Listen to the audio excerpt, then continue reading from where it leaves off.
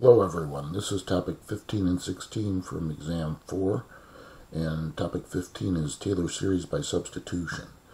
Um, so as you can read the note, um, we can actually avoid the formal definition of the Taylor series um, and use substitution if we could, um, if we are given or we know the, what I'm calling the um, primary or the, uh, the primary Taylor series for that given class of function. For example, um, here's e to the 5x, and this is what I mean by the primary function. e to the x, okay, is given to be this infinite sum. And so by substitution, um, basically all we're doing, it's just like functional notation. We're just going to take the 5x, okay, in the e to the 5x, and everywhere in, in the infinite polynomial, okay, we're, we're going to substitute 5x for all the x's. Okay, and then I even gave summation notation here, and would substitute it into that as well. And it does say to express the result using summation notation. So just replacing all the x's by 5x, we have e to the 5x is equal to, okay, the first term is 1, plus, then we have x, which is now 5x. If you want, you could say 5x to the first, and then plus x squared, so x again is 5x, but that has to be squared over 2 factorial, and then plus 5x is a quantity cubed over 3 factorial, and that pattern continues. And into summation notation as well, we have the sum as n goes from 0 to infinity of, again, x is now 5x, now is a quantity to the nth over n factorial. And then we might want to simplify that.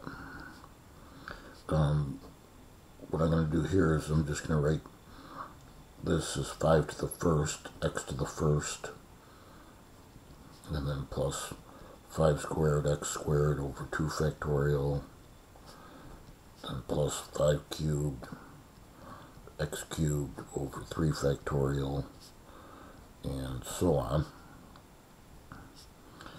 And it gives us a sum as n goes from 0 to infinity. You want to do the same thing with this 5x, exercise the power property, as we just did with these terms, and write this as 5 to the nth times x to the nth over n factorial.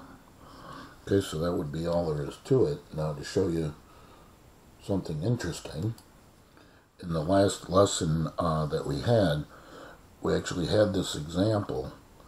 Um, so I'm bringing up this, this page I'm pushing up here is the notes from last time. Um, we actually went through the formal um, definition for the Taylor series for this exact problem, e to the 5x.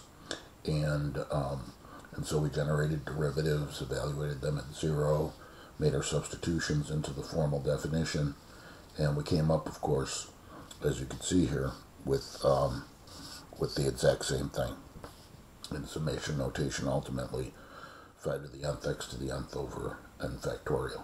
So this is a nice little technique that allows us to avoid some work uh, but if we're told to do it by the formal definition, you have to do it by the formal definition.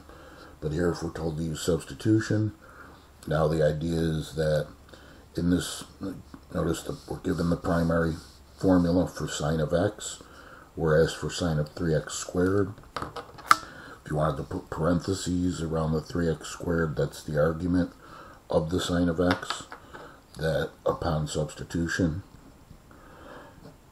is going to replace all the x's in our polynomial and also in our expression for summation notation.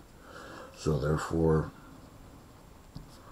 sine of 3x squared is Okay, we have x, which now is 3x squared. I'll put that to the first again.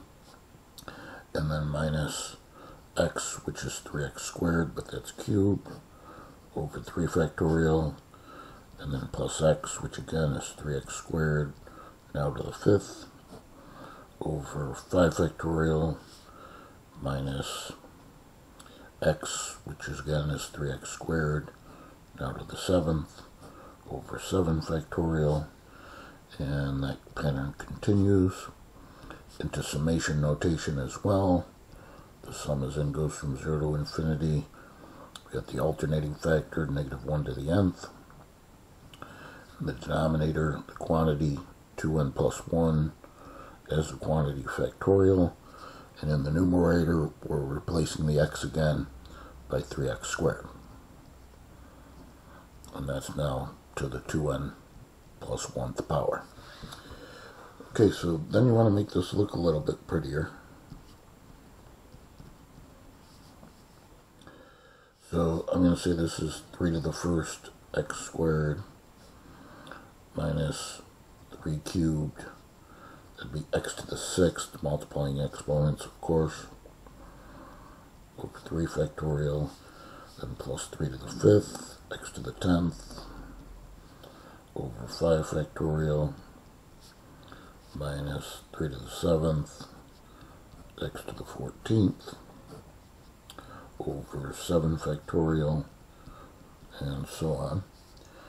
And then in summation notation, simplifying the powers there as well. Okay, the negative 1 to the nth stays, so does the 2n plus 1 is a quantity factorial. Okay, in the numerator, 3 gets raised to this power. So 3 raised to the 2n plus 1th power. And then x squared gets raised to this power. So that would be x to the... Okay, when you raise a power to a power, you have to multiply the exponents. So, I mean, just to show this literally, not to insult you, but 2 gets multiplied by the whole quantity, 2n plus 1 to give you 4n plus 2. Okay, and you do want to simplify it to that point. Now notice that the um, the patterns, like we didn't have to, when we put it in summation notation, we didn't really have to worry about uh, the patterns of the powers and everything. Um, notice that the factorials didn't change. But notice on the powers on x, went 2, 6, 10, 14, etc. So in terms of the patterns, I mean, we did it here in summation notation by just simply manipulating the exponents by our simple exponent rules. But the pattern goes 2, 6, uh, 10, 14, and so on. And just to justify the foo, okay, here's our starting point. We're starting at 2, so that's why we have the plus 2. And then notice the difference here is 4. And that 4 is basically, use the term often skip. Okay, so that's the, the skipping. We're skipping four terms for every n value, and that's why we have 4n there. Okay, so interesting to, to verify that. Now the reason I'm why I'm so, so you might be saying why why are you showing this, you know, polynomial representation because you get away just we're going to um, the final um, summation notation. Well, the reason why I wanted to do it that way is because I want you to make sure you understand what's legal and what's not legal. And this example will illustrate that. First off, this is x cubed times the cosine, and then I took liberty to put parentheses around this just to the 5x to the fourth, just to highlight the fact that it's the argument that belongs to the cosine. But making the initial substitution, the x cubed really just hangs out in front for now.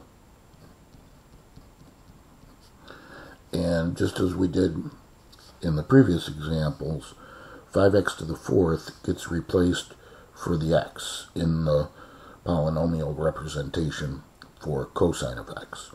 So therefore we have 1 minus x squared, but x is now 5x to the fourth, but that gets squared over 2 factorial, and then plus, again, 5x to the fourth, that's now to the fourth power, over 4 factorial, minus, again, 5x to the fourth, now to the sixth, over 6 factorial, and so on. And into summation notation, the sum as then goes from 0 to infinity of negative 1 to the nth. x gets replaced again by 5x to the fourth. Oops, I got one, one thing I want to make note of here. Uh, it gets raised to the 2nth power, and then all over uh, 2n as a quantity factorial. Alright, and one thing I forgot to do was to account for this x cubed. See, here I just substituted in for the um, cosine of 5x to the fourth. So let's put big brackets around this. I really apologize for this, but I promise we'll have a virtual donut party or pizza party. And we'll slide in that x cubed in front of it. So that's very important. And therefore it's going to be in front of this summation process as well. So let me make this a little bit smaller. In terms of the substitutions, we're fine. But I'm going to put the x cubed out in front of the sum as and goes from 0 to infinity of that. Okay? All right, so that x cubed was very important. Um, to continue, so we've got x cubed cosine of the 5x to the fourth. Okay, again, I've got this big X cubed out in front of the brackets. And now, just like before, we'll rewrite these. We're preserving the powers. We don't want to square the 5. We'll just say 5 squared. Um, we're going to say x to the 8th, though. And then plus 5 to the 4th, x to the 16th, over 4 factorial, and then minus 5 to the 6th, over x to the 24th, over 6 factorial, and so on. Keep in mind there's this x cubed out in front. And that's equal to, again, the x cubed out in front of the sum as n goes from 0 to infinity. See, because this summation is basically what the cosine of 5x to the fourth is. But we've got the x cubed out in front of it. So just like before, we're going to say this is 5, um, negative 1 to the nth.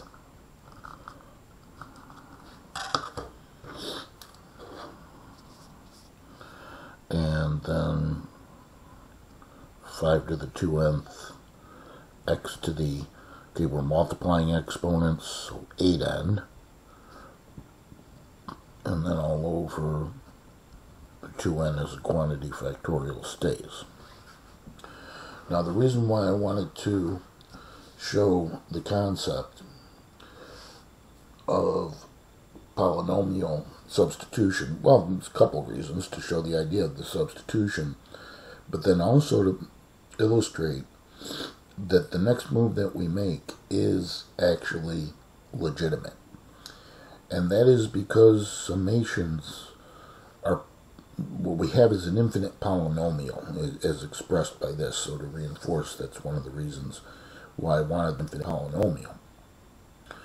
So if it is in fact an infinite polynomial, and we have this x cubed out in front, we know that it's natural to be allowed to distribute that x cubed to each of these terms.